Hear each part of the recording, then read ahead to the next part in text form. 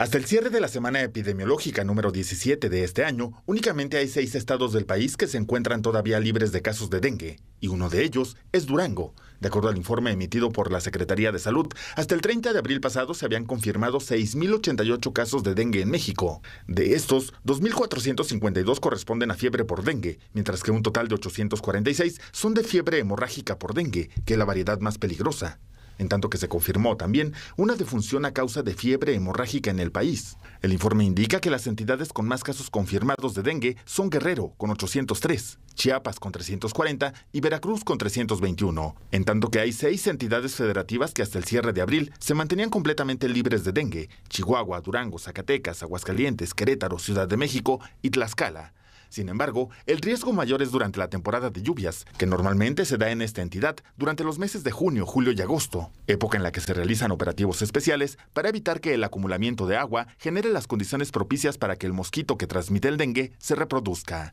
Con imágenes de Edgar Tapia, informó para Tiempo y Espacio Luis Lozano.